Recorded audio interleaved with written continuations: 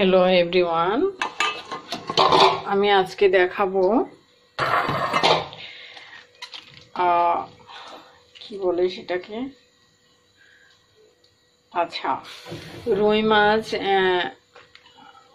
রান্না করা ছিল সেটা দিয়ে ফুলকপি দিয়ে রান্না করব।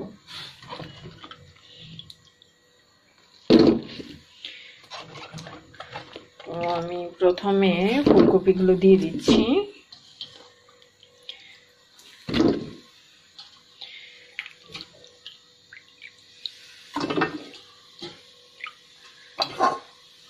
তারপর দিয়ে দিচ্ছি কাঁচামরিচ।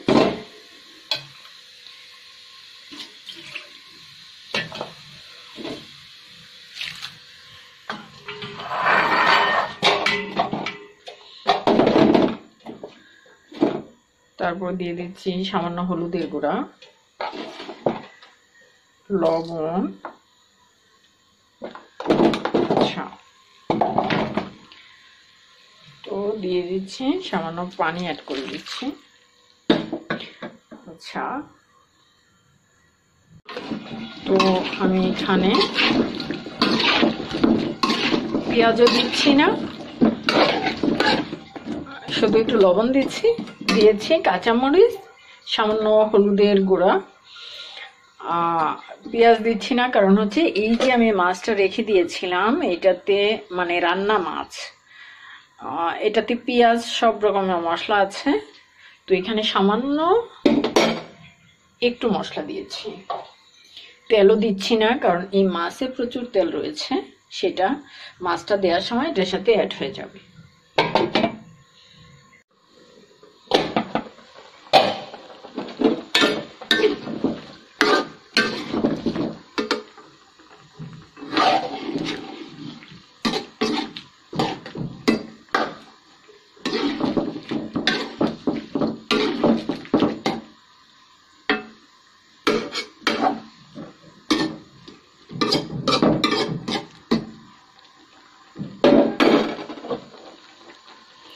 এটা আরেকটু সিদ্ধ হবে তারপর আমি ঝোল দিব।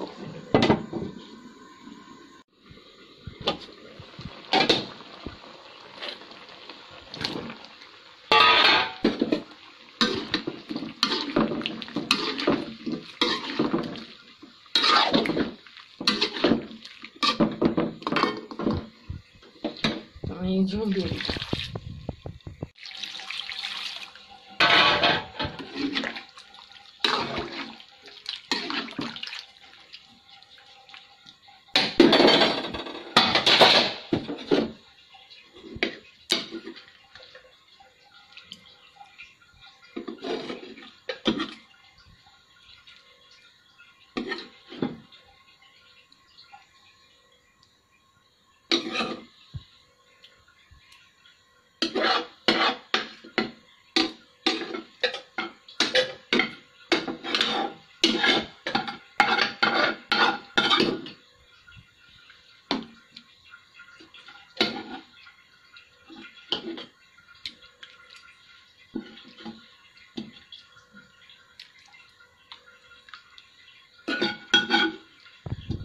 একটু ঝোল দিতে হবে, সেটা আচ্ছা। তো এখানে আর একটু ঝোল দিব, কিন্তু সেই পানিটা আমি এটার সাথে দিচ্ছি।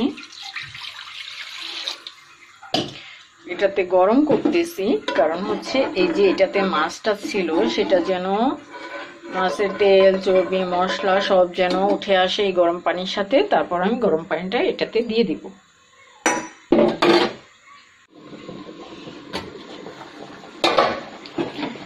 এটা হচ্ছে তোমার ফুলকপি।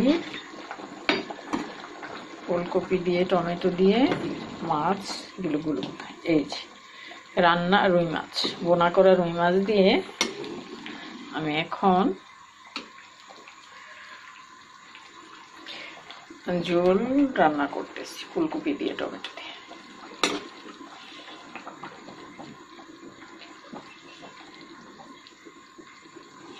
আর একটুখানি হবে।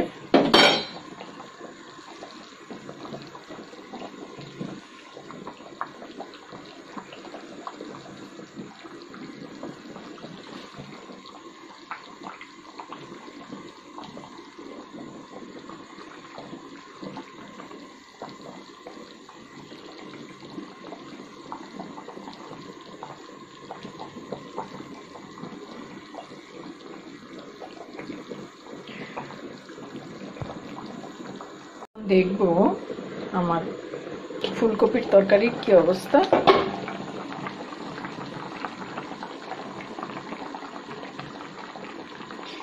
এই যে দেখতে পাচ্ছ, ভালো অবস্থা। তো এটা